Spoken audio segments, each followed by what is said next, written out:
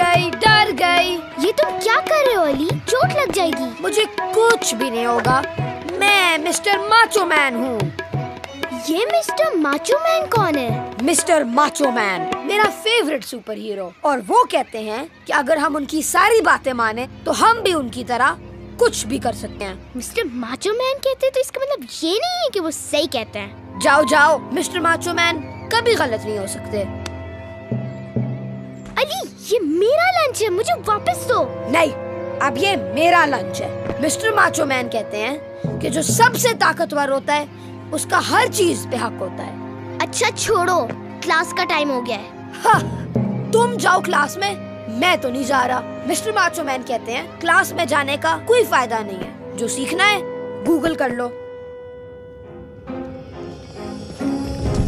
आओ मेरे साथ। चलो आगे बढ़ो। चलो आगे। रुको! सब रुक जाओ। कहाँ जा रहे हो?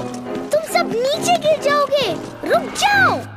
जैनब बेटा परेशान ना हो। कायद आप यहाँ? मगर वो वो सारे लोग वो कहाँ गए? वो कभी थे ही नहीं। ये सिर्फ़ तुम्हारा ख्वाब है। कायद लोग ऐसे कैसे एक दूसरे की बात बगैर सोचे समझे मान सकते हैं? बेटा अफसोस की बात है कि हर कोई खुद सोचने के लिए तो तैयार नहीं मगर दूसरों के पीछे सोचे समझे बगैर चलने के लिए तैयार है। क्या इसका कोई हल नहीं है? हल बिल्कुल है जैनब लोगों की बात ज़रूर सुनो और तमीज से सुनो मगर फिर अपनी सोच का इस्तेमाल करो और खुद फैसला करो कि दूसरों की बात सही है या गलत। कभी भी किसी की बात खुद सोचे समझे बगैर ना मानना। बच्चों मिस्टर माचो मैन आ गया है। और अब मिस्टर माचो मैन तुम सब के लिए स्टंट करके दिखाएगा। अली तुम क्या कर रहे हो?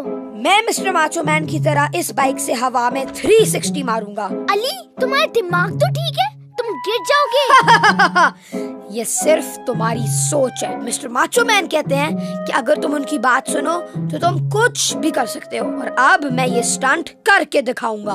अली नहीं खुद सोचो। तुमने तो अभी बाइक चलानी सीखी है। तुम्हारा ख्याल कि तुम इस तरह के स्टंट्स कर सकते हो? मगर मगर मिस्टर माचो मैन ने तो कहा था।